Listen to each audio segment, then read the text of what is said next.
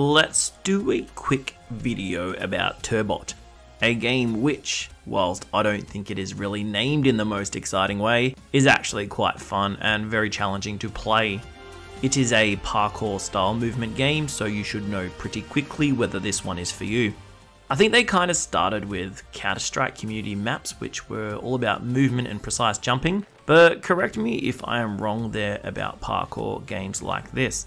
I've actually covered a parkour game like Turbot before with the very popular Karlson by Dani Dev, which remains to this day my most viewed video. Check it out if that's your cup of tea. But let's talk a bit about Turbot on Steam, and if you like it, sub to the channel.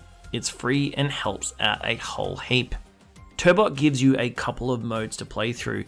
The arcade style try and beat each level to progress to the next, which has a challenge time for you to try and achieve to get a star. I'm not quite sure what the star does yet. And then the speedrun mode, which is pretty easy to work out. See how quickly you can beat all the levels without stopping? Let's just say I'm not going to be investing too much time into the speedrun mode just yet, because some of these levels are freaking hard. There are a number of levels to progress through to reach the next world, and each world has some unique movement or item mechanics that you're going to have to get your head around.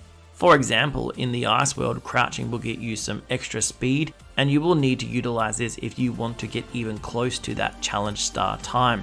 There are also things like lava, jumping walls, there's a whole lot of difference between each world, and that's kind of cool.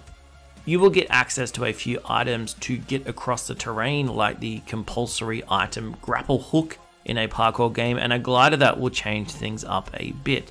This is a sort of game that will tilt you, especially if you are as bad at it as I am. I mean, in one of the levels my name came up as the slowest successful time recorded so far.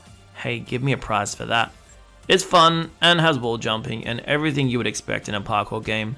This one is available on July the 30th on Steam, Check it out with the link in the description.